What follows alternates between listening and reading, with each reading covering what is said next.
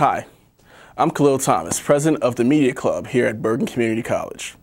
Throughout the semester, we'll be presenting a variety of programs. Our focus is to inform as well as to entertain you.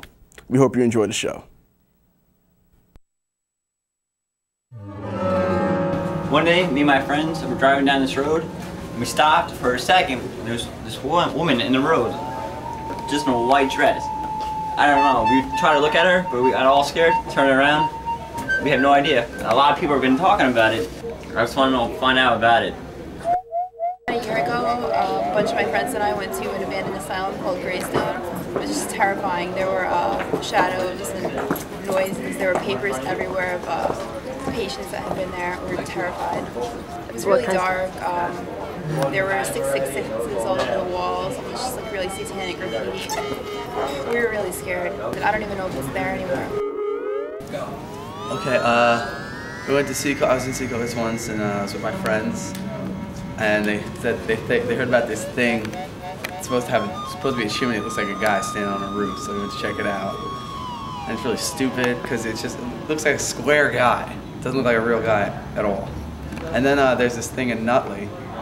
It's supposed to be a statue of Mary with uh, real eyes, but we couldn't find it. So if anybody finds it, let me know. Well, the one that stands out is one in Newark. That if you're driving through and there's some bright lighting going on to it, you see the white woman.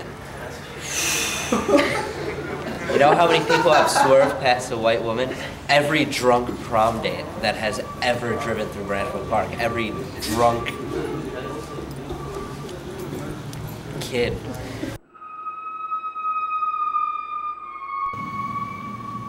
Westminster Hall, huh? Well, um, from what I've heard when I was younger about the ghost story um, entailed with Westminster Hall, was that a young girl many, many years ago was dating a man of another race or culture, and she was madly in love with him. And when they approached her father about getting married, he was simply against it. Uh, in fact, denied her of it. And she was so heartbroken and, and distraught that she climbed up into the bell tower of the church that she belonged to and committed suicide by hanging herself. Now it's said that if you walk by the bell tower on the anniversary or of her death or the night that she committed suicide, you can see a shadow of a figure moving around up there, or possibly the shadow of her dead body swinging back and forth. Yeah. And me and my friends, we were driving down this road in Totowa. I think it's called Annie's Road. It was like on a Saturday night. Um, it was like around, I don't know, like one in the morning or something. And we drove down really fast, and my friend said he could have swore they saw like a girl walking up the side of the road. None of us saw it, so then we turned around, we drove back, but then again we didn't see it. But then a bunch of other people said they've seen the same thing, so uh, I don't really know, you know, what he saw. I mean, they were really drunk, so that might have had something to do with it, but I don't know.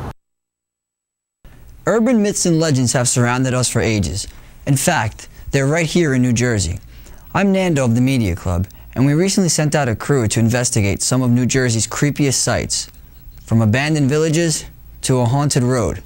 We sought to capture the truth about New Jersey's frightening and most bone-chilling myths. Welcome to the world of the unknown.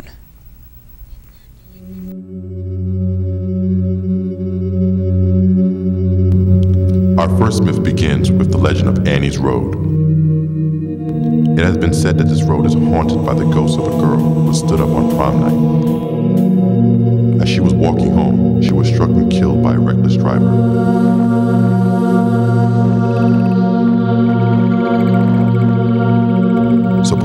Her spirit protects all who dare to walk down it.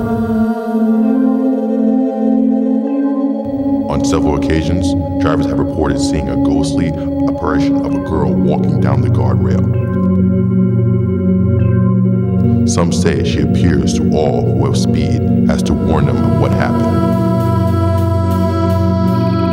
Allegedly, Annie's father returns to the site every year to paint the guardrail red in memory of her death. Legend has it that Annie's body rests in the very same graveyard that is located alongside this road.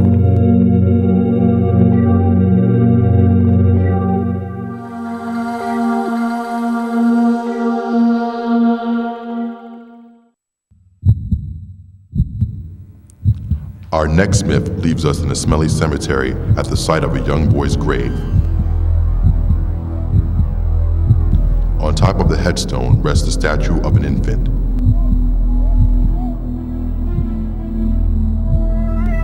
Child, less than a year old, is known as Little Willie.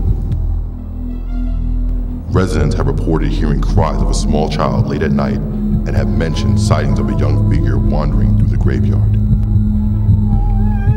The myth says that if you touch the statue's head, you will mysteriously fall ill, very much like the way little Willie did before he died.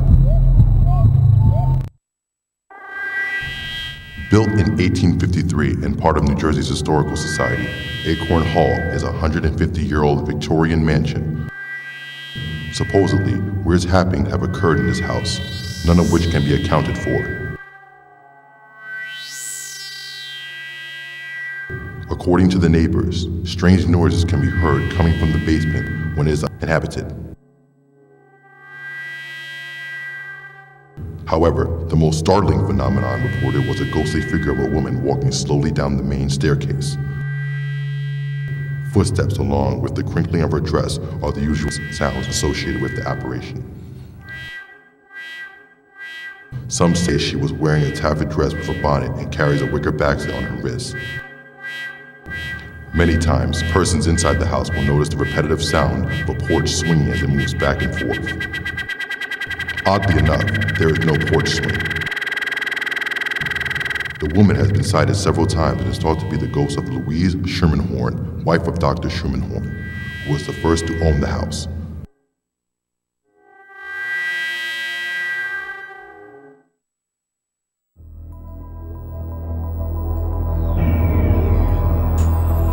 Just off one of New Jersey's main highways lies a deserted road, abandoned houses, and scattered debris.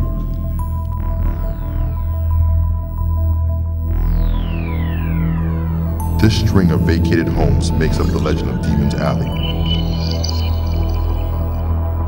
Apparently, sometime in the early 1980s, a seemingly ordinary man moved into town. According to the locals, odd occurrences began to take place shortly after the man's arrival. Residents blamed the town's youth.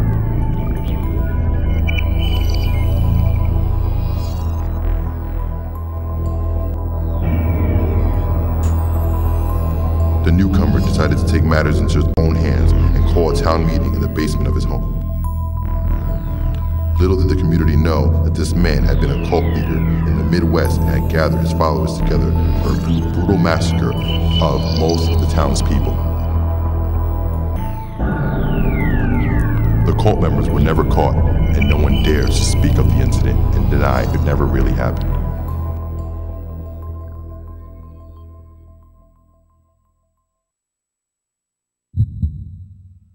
Our final myth encompasses the tale of Westminster Hall.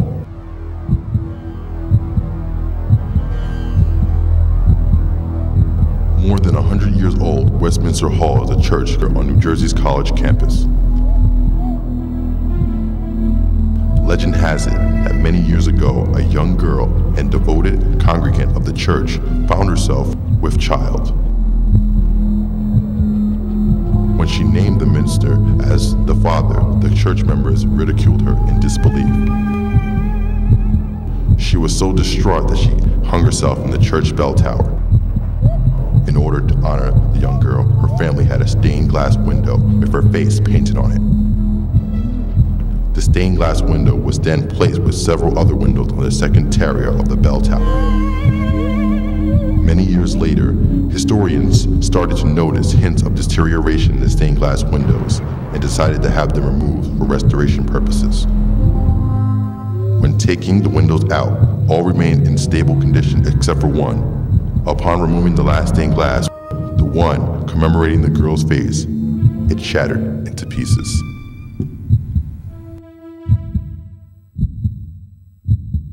Whether you believe in the haunting tale of a young girl, the curse of a little boy's sickness, or unexplained paranormal phenomena. The truth is, is that these sites you have just seen really do exist. What's even scarier is that they can be found right here in the state of New Jersey. Fact or fiction? These stories are what you make of them. Be sure to join us next time to another presentation from Bergen Community College's Media Club. I'm Nando Silva, and remember, never underestimate the powers of the unknown.